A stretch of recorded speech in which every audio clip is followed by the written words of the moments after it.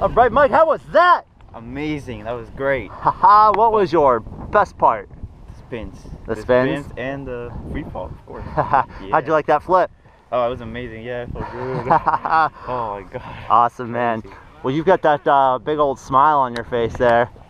Got a question. Yeah. You coming back? Oh hell yeah, every day. Right on, man. Thanks for coming to the Skydiving Company right here in Madisonville. Welcome to the skies.